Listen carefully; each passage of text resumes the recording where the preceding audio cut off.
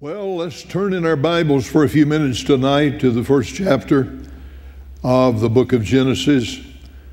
We've been here for a little while, there's so much here. But uh, we want to come back tonight to Genesis chapter number one. Can you find your place? Would you join us as we stand in reverence of the Word of God? Genesis chapter number one, the book of beginnings chapter number one. Good to see you. Thank you for being in your places tonight. I want to begin reading in verse number 26. This is the final day of creation. Final day. What a week. Never been a week as busy in the history of the universe as this week. Think, think about all that was accomplished in six days. It's astounding. And I'm talking about six literal 24 hour days. Those who do not believe the book of Genesis and who question the authority and the integrity of this book, they say that it really wasn't 24 hour day, but each one of these that was called 24 hour days, literally tens of thousands of years because they say this could not have been accomplished in 24 hours. The only reason they say that is because they do not know the God we know. Because if they understood and recognized the power of our God, they'd have no problem at all. I have no doubt God could have done it all in one day if He wanted to.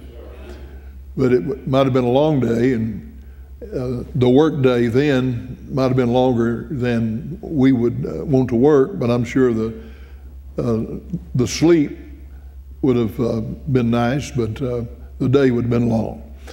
So let's look tonight at verse 26. And God said, Let us make man in our image, after our likeness, and let them have dominion over the fish of the sea, over the fowl of the air, and over the cattle, and over all of the earth and over every creeping thing that creepeth upon the earth.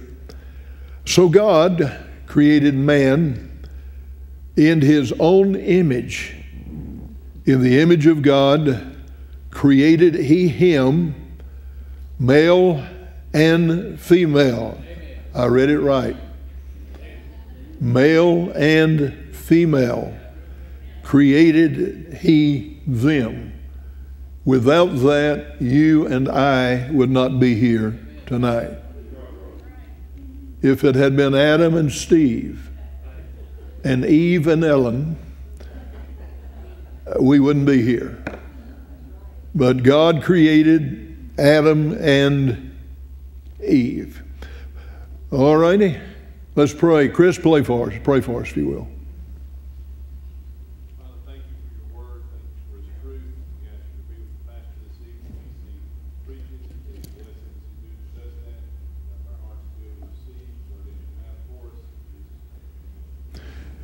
Amen. I think at this point in our study tonight, it would be advantageous to raise a question and uh, answer the question scripturally and theologically from the Word of God. Just before I launch into our text tonight, we have noticed in these six days of creation that God created and we have also noticed that the word created is a word which means to make out of nothing.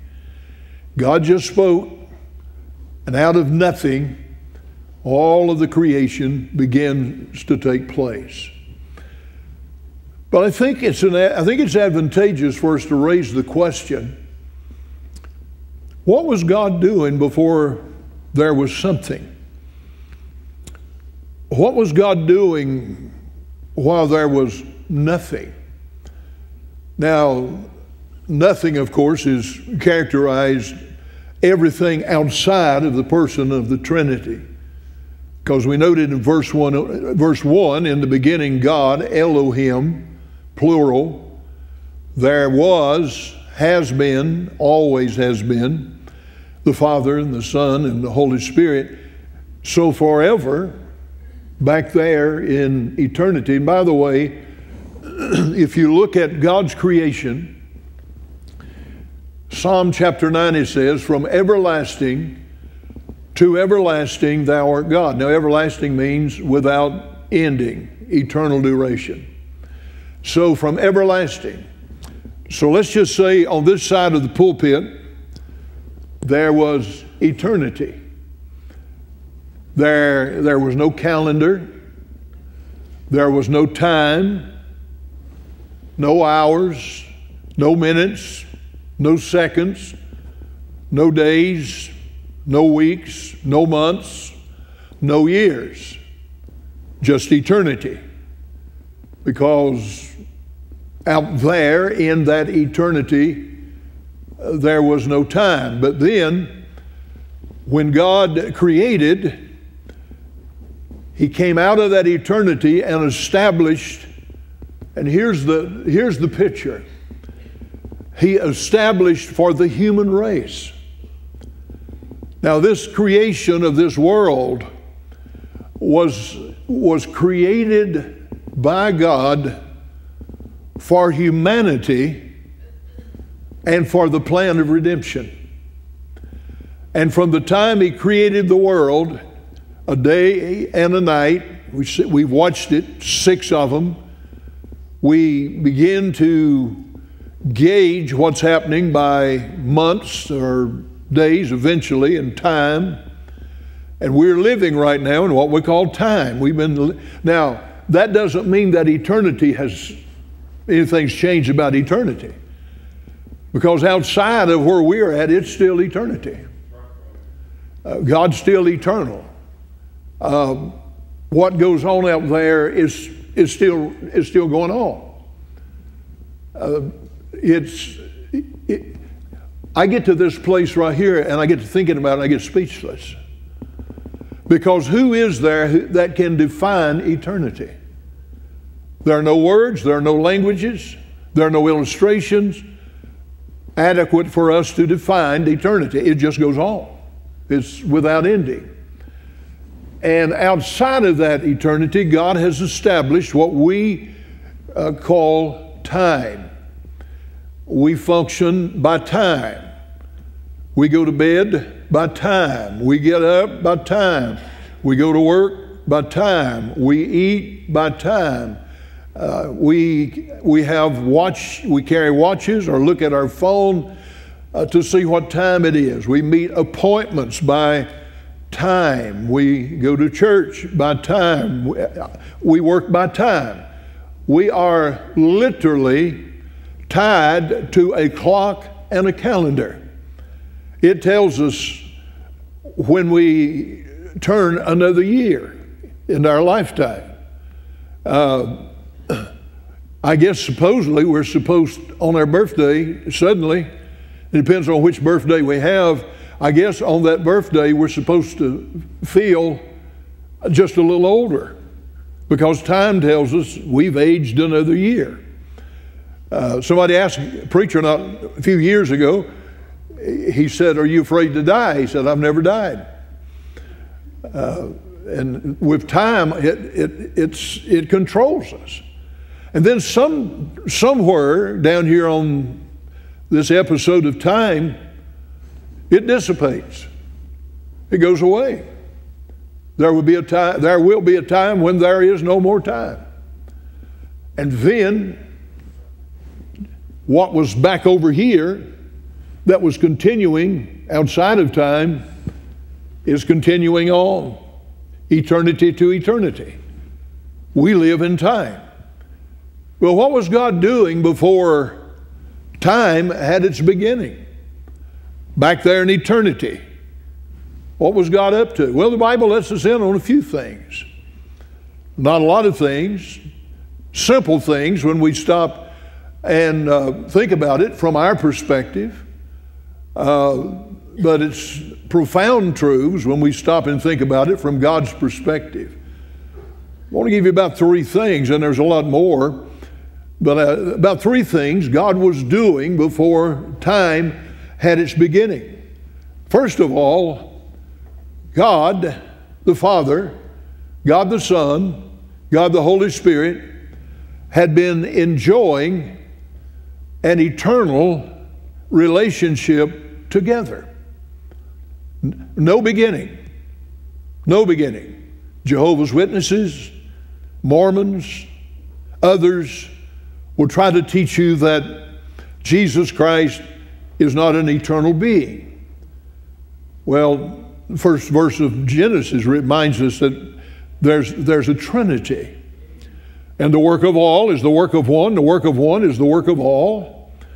And uh, the thing about God is, God, God is not any older today than he was yesterday, and he's not any younger today than he'll be tomorrow. God lives in the eternal present. And in that eternity, there was the Father, the Son, and the Holy Spirit together, fellowshipping together, spending eternity without a beginning together, meaning that they have always been there. Now, logically speaking, from a human standpoint, not from a, not from a theological, theos, God, God's standpoint, speaking from our position, we would have to say something, has to be something out there to, to produce God. But God, the technical definition of God is this God is. God's not going anywhere, He's already there. God is not in need of, anything because He has everything. God is not trying to figure it out because He knows everything. I met a few Baptists that way. God is not seeking wisdom because He's all wise, but He reminds us in the first chapter of James if any man lacks wisdom, let him ask of God, who giveth to all and upbraideth not. If we need wisdom, we go to God, but God doesn't have to go anywhere because God is all wisdom. God is life. All life is generated from God. All life comes from God. That's physical life and eternal life. We tonight are breathing because we have in our, in our body, we have the physical life that God gave to Adam. It was transferred to Cain and Abel and Seth and on down the line. And the moment we trusted uh, Jesus, we became recipients of a life that goes on when our physical life here on this earth ceases to exist. It's called everlasting life. The Bible says, as he is, so are we. And he that hath the light, he that hath the Son hath life. So we have dwelling within us the life of Jesus. And when Jesus got up from the grave, he got up to die no more. So that unending life that Jesus has is the life that we have. And that means we live as long as he lives.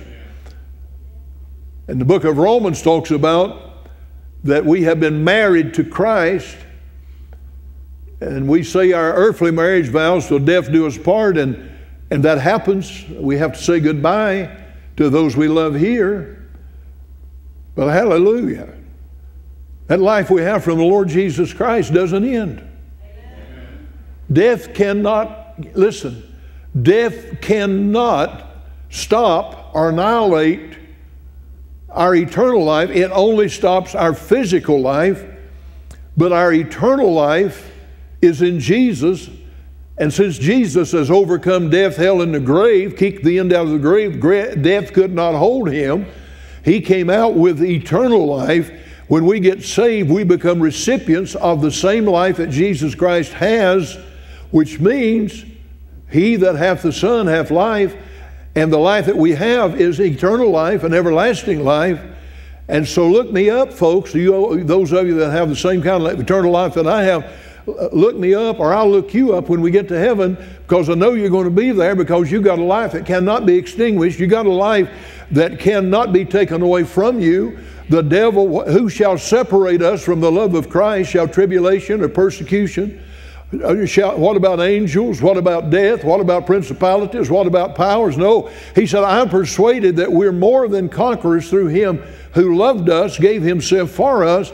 I am li- I'm going to live, you're going to live as long as Jesus lives. And when death comes, that is just the medium of transporting, making sure that we leave earth and go into the presence of the Lord. There's worse things that can happen to a Christian than dying because to be absent from the body is to be present with the Lord.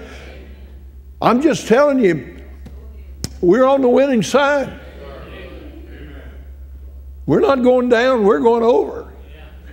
We're not going into non existence. We're going to continue to exist in the presence of the Lord. Moses and Elijah appeared with Jesus on the Mount of Transfiguration. Moses had been dead. Jesus buried his body up on the side of a mountain to keep people from uh, building some kind of monument where they would come and bow down and worship the tomb of Moses like they do Peter over there in, over there in Rome. They got a big statue of Peter, and for years and years, people have been coming by and kissing the toes of Peter to the toes have just worn away. The toes gone, just a little part of the foot, they tell me, is still, is still surviving. I've got a God who never diminishes. I mean, we can stop right now and have the invitation say it's been good to be in the house of God because of what we have in Jesus. And they are eternal. Let me give you a scripture. Listen to what the Bible says, and these are familiar verses. John chapter 1, verses 1 and 2. In the beginning was the Word. In the beginning of what we call right here, in the beginning of what we call time, the Word was already there. Wait a minute, the, the, it doesn't say in the beginning did the Word begin. It said in the beginning was the Word. And the Word was with God and the Word, here it is, was God. Now, listen to this John 17 24. Jesus is praying to his Father in his great high priestly prayer. He said, Father, I will that they also, whom thou hast given me, be with me where I am, that they may behold my glory, which thou hast given me, for thou lovest me before the foundation of the world. There was a divine love between the Trinity before the foundation of the world. Listen to John 17 5. And now, O Father, glorify thou me with thine own self, with the glory, listen to this, with the glory which I had with thee before the world was. Wow. The one who hung on the cross was out there before there was a world. But he went to the cross to help our world so that we can go to another world, a place called heaven. So, back there in eternity, before there was a time, there was a divine fellowship between, between the Trinity. By the way, that still continues this very moment. The Father, the Son, the Holy Spirit. but there was a second thing that God had done before He started creating the universe. And the Bible tells us about it in the book of Job, chapter 38, verse number 4. Now, Job had his miserable friends. They come over to comfort him. But they didn't comfort him. They pointed their little bony finger in the face of Job and said, Job, the reason you've lost your families, Job, the reason you've lost your property, the reason you've gone from riches to rags. We hear that story, rags to riches. They could say, Job, the reason you've gone from riches to rags is because there must be some sin somewhere in your life. And Job came back in the 19th chapter of the book of Job, he said, I know that my Redeemer liveth. In spite of everything that happened to him, he said, I know that my Redeemer liveth. And in the book of Job, chapter 38, there was a creation angels. They are called in the Bible sons of God. Somewhere in that eternity back here, here's something God was doing and God had done. God created angels. Now, here's another marvelous mystery you get into when you, when you think about the Bible. A third of the angels rebelled against God, and they are chained, some in everlasting darkness. Tartarus is the place they're chained in, a place of darkness, until the day of judgment when they're judged. Others are, we call them demons. They are, they are alive and well around the world. But, but originally, God created angels. And in the scriptures, we read about these beings. Now, angels fell. Here's another one of those mysteries we can't figure out. Angels fell and rebelled against God, headed up by Lucifer. Ezekiel, Isaiah. Headed up by Lucifer.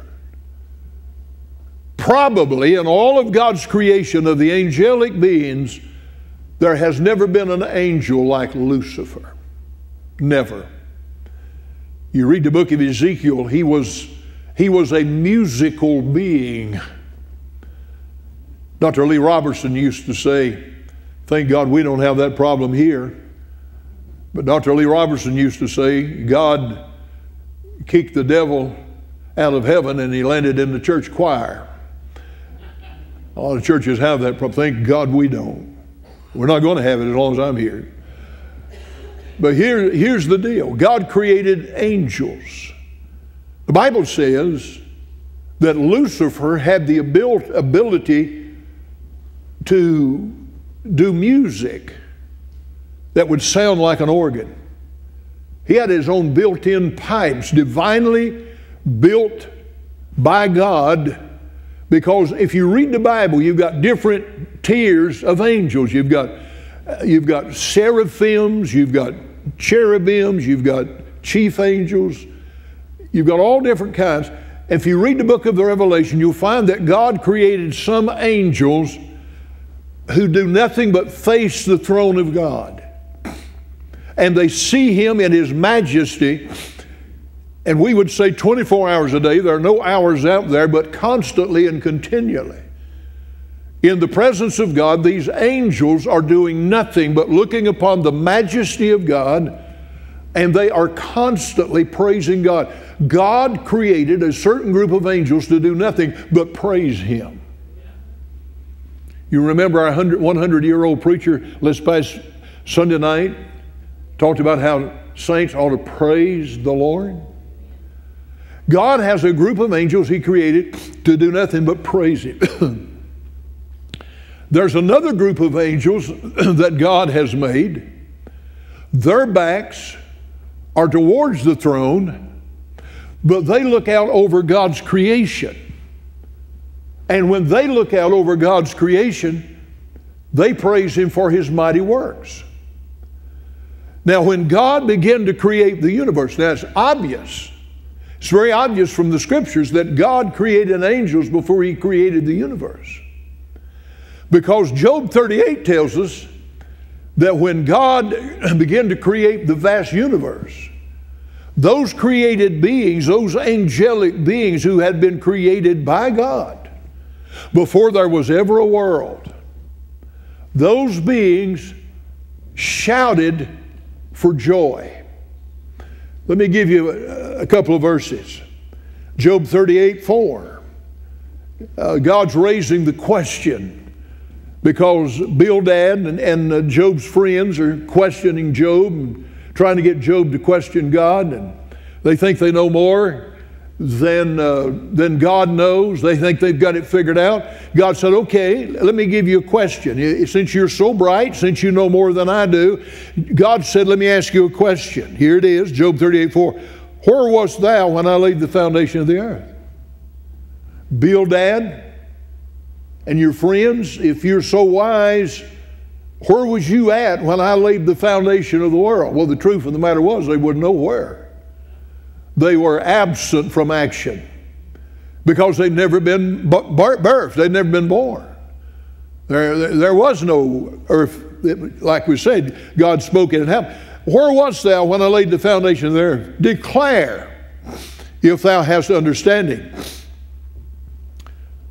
When the morning stars sang together, and all of the sons of God shouted for joy. Now, what was God doing back yonder before He created the world? Well, He and the, the Son and the Holy Spirit had divine fellowship. But back there before He created the world, He created angelic beings. And when God began to speak, and out of nothing the sun appeared, and the moon appeared, and the billions of, uh, of stars appeared, and the water appeared, and the dry land appeared, and the sea creatures appeared, and the birds of the air appeared, and, and the cattle, and the, and the creeping things, and the things on earth appeared. When the angels of God saw the creation of God, all they knew how to do was, Woo! They shouted for joy. They shouted for joy at the majestic power of the God of majesty. Let me tell you something, Baptist. Take this one home with you tonight. There's no doubt in my mind when our eyes open up in the presence of God and we see the beauties of that land to which we're going and we see Jesus Christ in all of his glory, I don't think there's a one of us in this room that's going to say, Well, praise the Lord. I'll guarantee you, everybody in this building tonight, uh, those of you who uh, are deathly silent, I want to tell you something. Every once in a while, you ought to give a holy grunt. Every once in a while, you ought to say amen or amenski. You ought to say praise the Lord or hallelujah to try to get in tune to what's going to happen when you check out here and you check in up there. You're going to be like the angels when they're standing back and they're looking at, wow, there, sun, moon, stars, and they say, wee. Look at the majestic power of our God.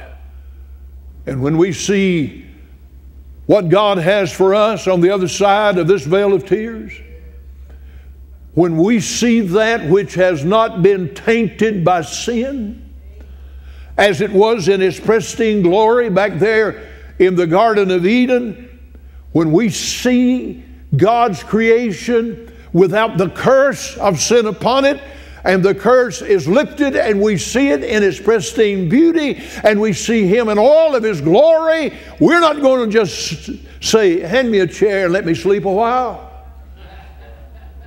We're going to be praising the Lord like nothing you have ever experienced in your life. I promise you, the, the Baptist who is like the church that had a deacon uh, to uh, they sent the word that there was a deacon where there's about 10 deacons sitting in the church, and they said one of them has, has died during the service, didn't call 911, and they had to take 10 of them out before they could find which one was dead. They all were so dead they couldn't tell which was dead and which was living.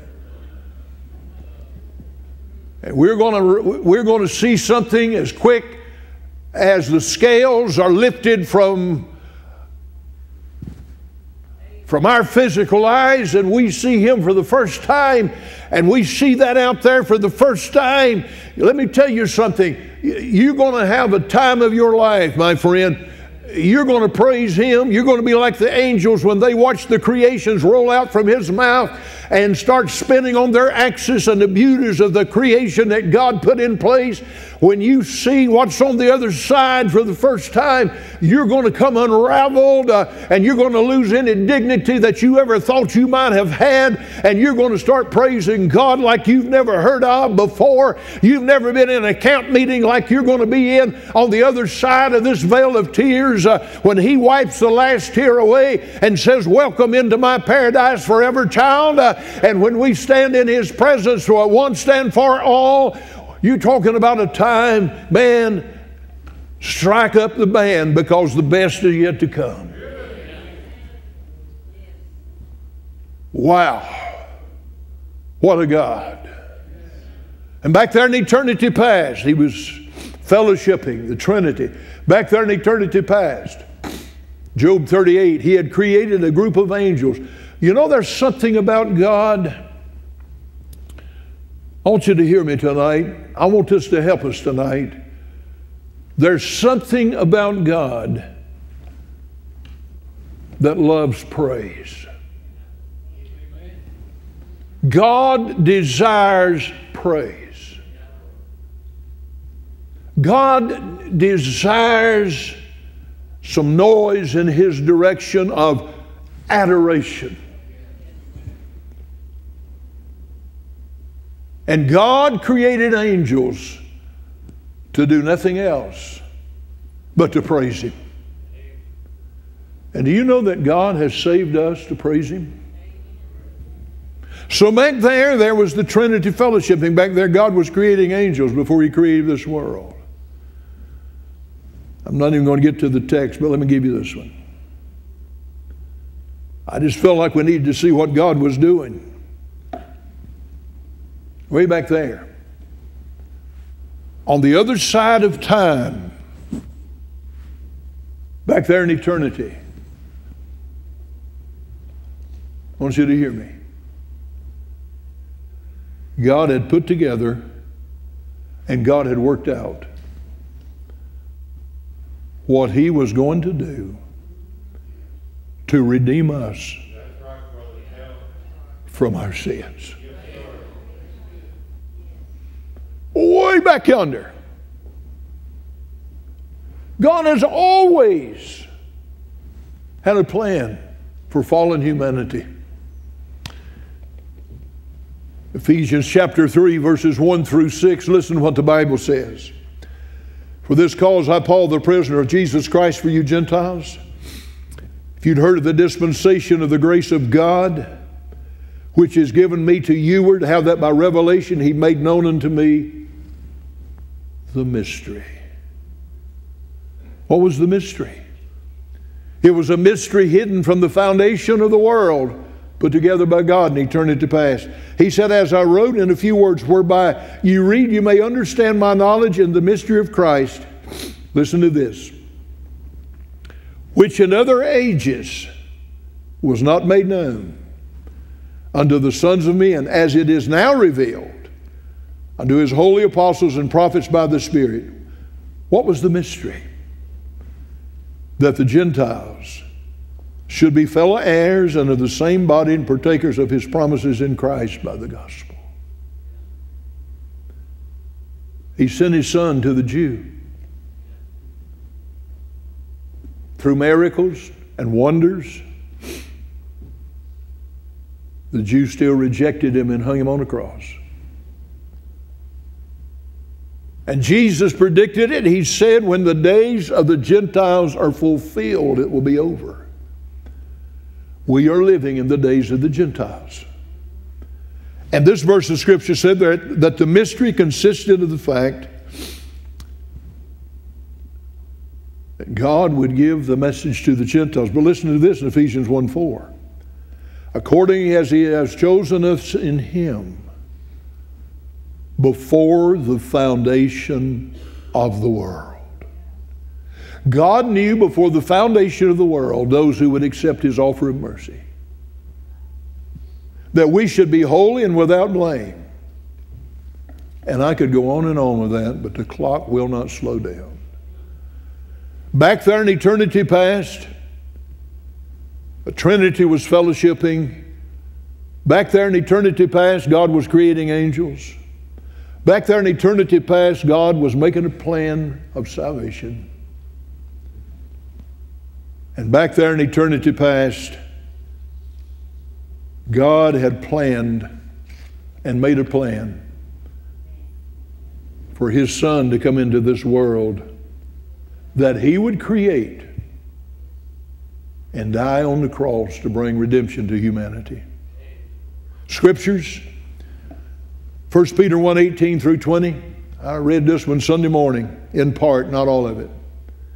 For as much as you know that you were not redeemed with corruptible things, silver and gold, from your vain conversation received by tradition from your fathers, but with the precious blood of Christ, as of a lamb without blemish and without spot. Listen to this. Who verily was foreordained before the foundation of the world, but was manifested, made known in these last times. God planned salvation before the world, and God planned for His Son to come before time began. Wow. book of Acts, ye men of Israel, hear these words Jesus of Nazareth, a man approved of God among you by miracles and wonders and signs which God did by him in the midst of you, as you yourselves also know. Him being delivered by the determinate counsel and foreknowledge of God, Acts chapter 2 you have taken and by wicked hands have crucified and slain, whom God hath raised up, having loosed the pains of death, because it was not possible that he should be holden of it. Determinate counsel and foreknowledge of God in eternity past determined not only that a plan of salvation would be wrought for the sinners on the earth he would create, but the Savior would come and redeem them on the earth that he would create. Here's a verse that settles it once for all in the book of the Revelation. Chapter 13, verse number 8. And all that dwell upon the earth shall worship him. Talking about the Antichrist right here. And all that dwell upon the earth shall worship him, whose names are not written in the book of life of the Lamb. Why is it that people will worship the Antichrist instead of the Christ? because they don't have a divine nature to know the real Christ and they follow the false Christ. And all that dwell upon the earth shall worship him whose names are not written in the book of life of the Lamb slain from the foundation of the world. God had a plan. God still has a plan. And we're a part of it. And it's running right on time. Listen, the train is going to pull into the station on time. And those of us who are saved tonight, we're on board. And when the, and when the doors open, we're going to step off on the celestial shores of God's marvelous creation. Yeah, God was busy back there, but He was busy when He created the world and the universe, but He was busy before He did that. He was busy fellowshipping with His Son. Wow. Busy creating angels, busy preparing a salvation for sinners, and busy determining that His Son would come. And you know what I like about that? God said, I'm going to give my son, John 3:16. But the son said this while he was walking topside of this earth. God said this. Listen closely to this now. Here's what God said.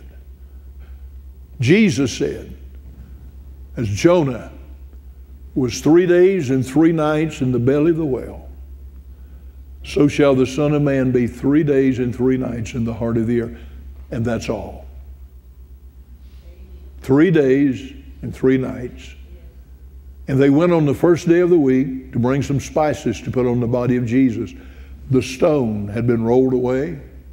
Two men in white apparel said, Why are you seeking the living among the dead? He's not here. He's risen. He's going before you into Galilee. And then he stood with John on Patmos and said, I'm he that was dead. Very interesting phrase. When he said, I'm he that was dead, that phrase literally means, I'm he that became dead. What that means is, John 10, no man taketh my life from me. I have power to lay it down, I have power to take it again. They didn't kill, the Roman government didn't kill Jesus. Jesus walked up to death and said, Go ahead and put your sting in me so Ron Baity won't have to have the sting of death holding him. The grave can't hold us if we're saved. Uh, we're not going there to begin. They're going to lay this little temple there that we're dwelling in tonight. But we're not going there. We're going into the presence of the Lord immediately at death. But here's the good news when He comes back even that body that's been redeemed by the grace of God is going to come out of the grave and going to be transformed in a moment in the twinkling of an eye because the rapture of the not the rapture but the rapture of the church is going to take place and we're all going to be caught up together with the lord in the clouds to meet the lord in the air. God's train's on time my friend. I'm glad to be on board. Let's stand with our heads bowed and our eyes closed